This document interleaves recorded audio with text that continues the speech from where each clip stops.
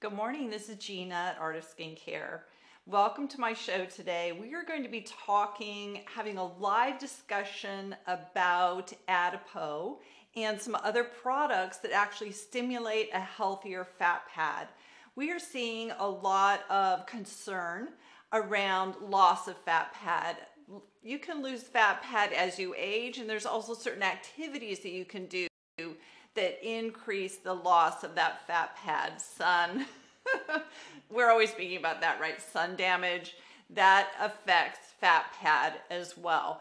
But for now, what we're going to talk about today is, in particular, Adipeau, how to support your Adipeau use with your other skincare products so that you get the very best results from your Adipeau.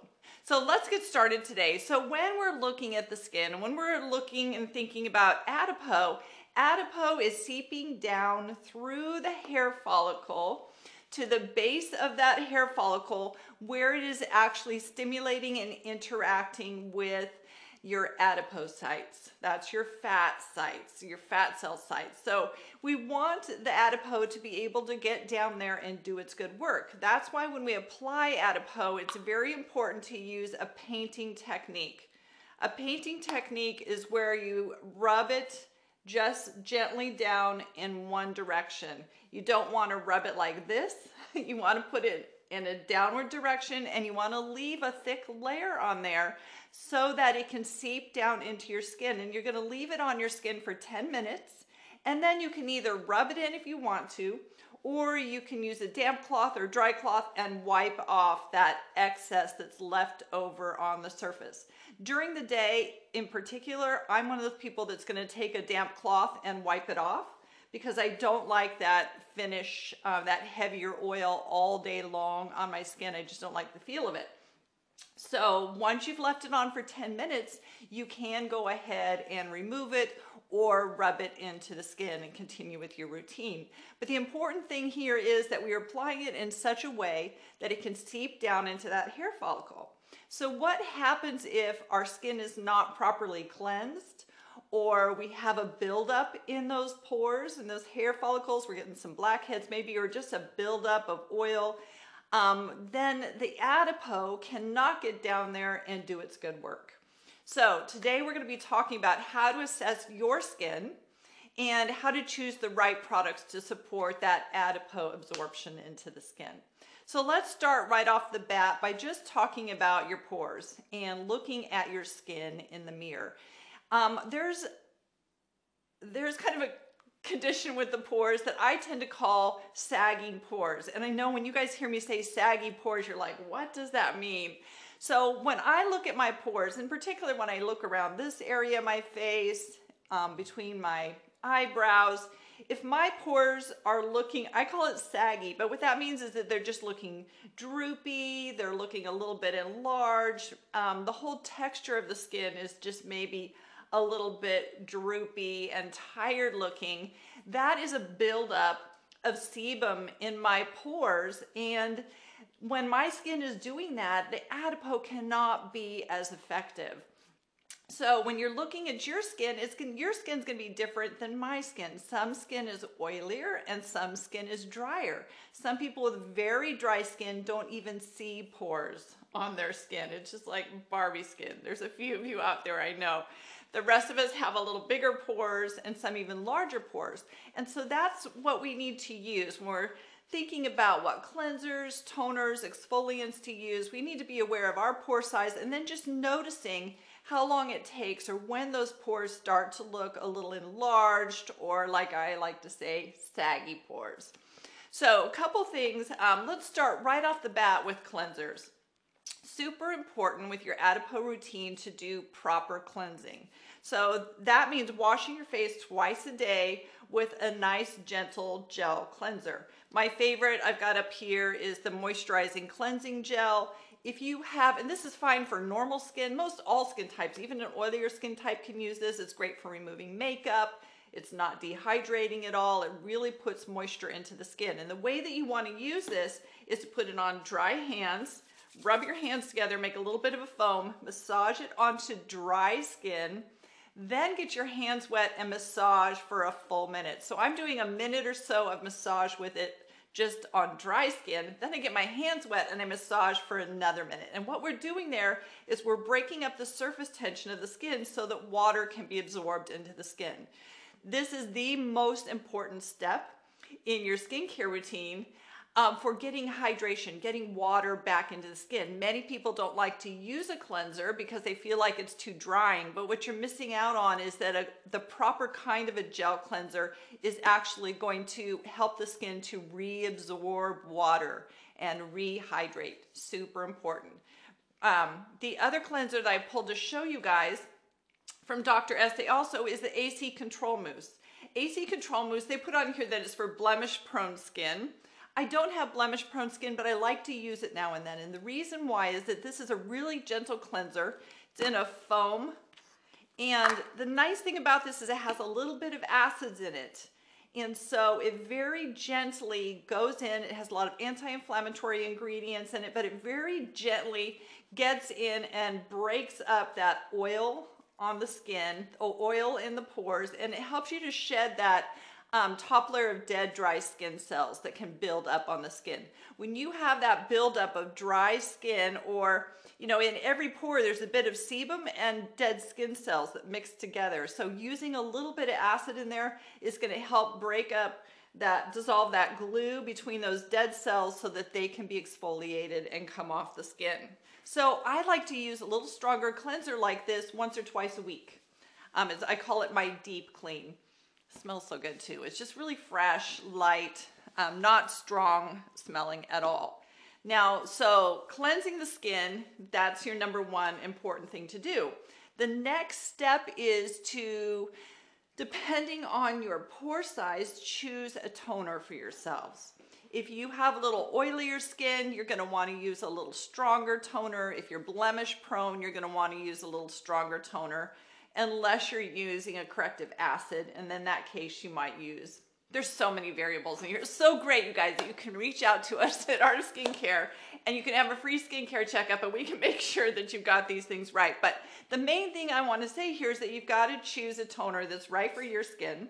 If you have a little oilier skin, you might choose a toner that has a little more acid in it to help correct and clean those pores. If you have a little drier skin, you're going to use a more nourishing toner on the skin to really prepare it to receive that adipose. I grabbed a couple toners that I wanted to show you guys that I like to use. On most days, I like to use the Pilleo Skin Prep.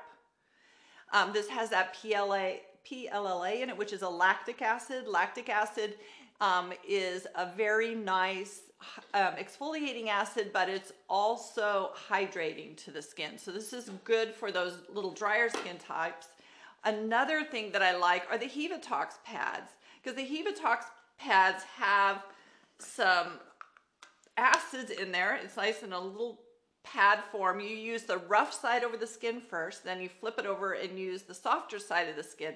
The Hevatox pads are all about helping to keep those pores cleared and also refine the texture of the skin and also lift hyperpigmentation so that your other products can really penetrate and get into the skin. Another thing that I like to do to keep my skin in that great shape to receive the adipose is doing a weekly enzyme. For me and my skin type, I can do an enzyme once or twice a week. Some people find that they actually use an enzyme daily. A daily, a good example of a daily enzyme is the deep, deep clear powder wash from Dr. Esthé.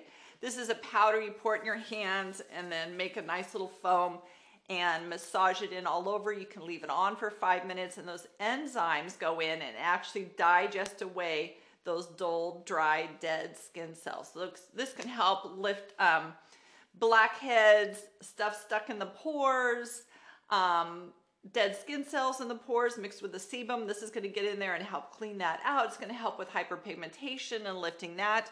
If you have a drier skin type, the one that I like to use is from Botnia, and this is their essential enzymes. This is a creamier enzyme and it works better for those people with the smaller pore size. Now, one thing that I do with my enzymes every week is I put them on and then I grab my DermaDisc. I love this thing. Those of you guys who have purchased this and written back to me on how this has lifted off that really stubborn hyperpigmentation that you could not get rid of, it's amazing. So we have a diamond disc on top. There's no suction, so it's not going to break the capillaries of the skin. You turn the bottom and it vibrates. I like to put on my enzymes. Either one of these enzymes works great. And then I put the fine tip on. This comes in a fine, a medium, and a coarse tip. The coarse tip is for your body. The medium can be used when you're not combining it with the enzyme. Um, if you just want to do it on dry skin. And then the fine tip is for when you're combining it with your enzymes.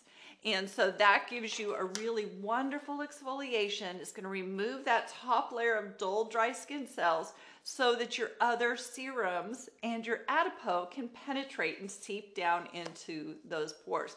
Now, many times people who have very flaky and dry skin, they are afraid to cleanse, they're afraid to exfoliate, but what you find is that when you have dry skin, you actually need to exfoliate a little more, but you want to avoid acids. So that's when you want to grab the Botnia Essential enzymes because the enzymes are just going to digest away that rough skin on the surface so that your moisturizers can lay in and really be absorbed into the skin. And many times for people with really dry skin, they put moisturizer on and then halfway through the day their skin is just dry and flaky again. So we've got to get rid of that dry flaky skin on the surface and then get a really good moisturizer on there to prevent transepidermal water loss and keep that skin nice and moist. So that's kind of the, the three steps that really help your adipose to do its work. So there's the cleanser, choosing a toner, and then choosing an enzyme to use with those. Now, I get a lot of questions from you guys, so I want to really share with you a morning routine and an evening routine. Many of you guys have reached out to me and asked, how do I use my retinol with adipose? So my nighttime routine is when I use my retinol, I'm going to cleanse my skin and oftentimes um, I don't even use my toner or anything else. I'm just doing a really great cleanse at night and then I'm going to do alternating nights. So it's kind of a skin cycling. We're going to be skin cycling with our adipose. And so one night I will use my adipose and then the next night I'm going to use my retinol. And I use the IS Clinical Retinol Emulsion 0.3. And so this is to be used two to three times a week, every other night. So I'm just going to do an alternating thing. Now, if I were using the 1%, which is stronger, um, of this, it has slightly different instructions. So with that one, I would use the retinol 1% three nights in a row, and then I would pick up my adipose and I'd use it the rest of the week and the next week, and then I use that 1% retinol three nights in a row again. So there's just a little variation on how you will cycle through depending on which retinol that you're using. Um, once I've done that on my every, every other night thing, and I've got adipose on my face for that second night, after 10 minutes, I do massage that into the skin and I rub the excess onto my hands and other areas where I need some extra moisture. Um, but I don't like to go to bed with it just still in that really shiny state on my face. It doesn't feel good on my pillow and everything. So at that point is when I massage it in really well and then go to sleep. So now let's talk about your morning routine. So my morning routine is when I'm going to use my cleanser, I'm going to use my toner or toner pads, and then I'm going to apply any other serums that I like to apply. For me, I'm putting on Neogenesis Recovery Serum, and then I'm putting on my Caviplla. Now, I want to talk just a little bit about Caviplla because this can be a very synergistic and excellent product to combine with Adipose. So, Caviplla and the Caviplla products, they have an eye cream and they also have this moisturizer. All three of these contain an ingredient called volufiline. Volufiline also penetrates through the pore and stimulates adipose, adipocytes. It also reduces inflammation and it also protects the skin from UVB damage. So these are excellent to use during the daytime. And then I often, I think of my Adipeau for nighttime. But when you're first getting started on your Adipeau, you're wanting to get some extra, kind of a build up to a benchmark with your skin and really see some quick results. So what I do is I put on my Caviplla, massage it in really well. During the day, I'm grabbing my Adipeau and I'm putting it in key areas. I'm gonna put it across my lips. And if you've got sunken eyes, you might use it across your eyes here. If you've got a lot of flattening of your cheeks, you're, you know, you're losing this fat pad through here, then you might even apply it to your cheeks. I leave it on for 10 minutes, so I'm putting that on in the morning. I'm all shiny. And then I go and I start getting dressed. I start working on my hair. And after 10 minutes, I come back and I use a damp cloth. I use one of the Clean Skin Club wipes, damp, and I remove that excess adipose from the surface of the skin and then I'm grabbing my Promoter Repair Moisturizer. This also has the volufiline in it. So I'm putting on my moisturizer, my sunscreen, and then my makeup. So that might be more than what some of you guys want to do, and that's okay. You don't have to do the complicated method if you don't want to. This is what I do. If you just want to be using your Adipeau, but say in the morning you want to be using a vitamin C serum, you would put on any serums, no oils though. It has to be a water-based product. You're gonna put on your vitamin C serum or maybe your recovery serum, your stem cell serum, let it dry, and then you put on your Adipeau. Once your Adipeau's been on for 10 minutes, massage in any excess and it can be your daytime moisturizer. And then you can go ahead and put on sunscreen on top of that and then makeup. That can work pretty well for people with a drier skin type. If you have a little oilier skin type, a lot of times leaving that Adipeau on all day might be too much moisture for you. In that case, you can use a damp cloth um, just to remove the excess and then put on your sunscreen.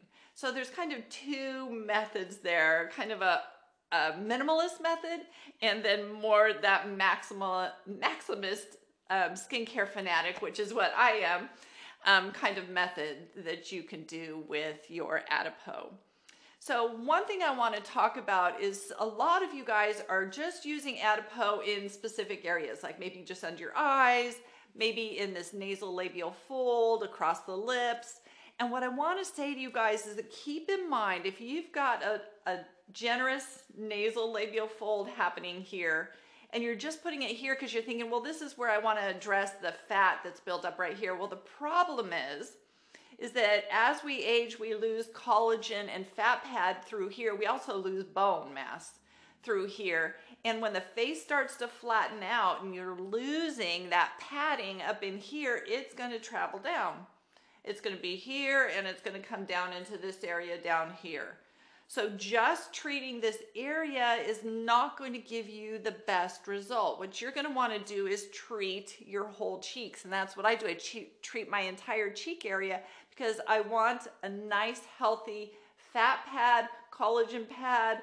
I want all of that up here. And that's what's going to help lift this other stuff that's happening and drooping down here. We want to have this fill up. Think of a balloon. If you fill up a balloon, it's going to go up like this. If it gets saggy, it starts to go down like this. And that's what happens with our skin. So when you're applying your Adipeau, think about that and apply it to all those areas. I'm applying um, to my upper brow bone around here at nighttime. I'm also applying it to my forehead because I know that if this is sinking and drooping down here, I want all of the skin to be plumper and firmer. And one of the areas that gets very thin is your forehead and the bridge of your nose. So making sure to get those areas with your Adipeau is gonna be really helpful for you. Go out, have some fun, and we'll see you all next week.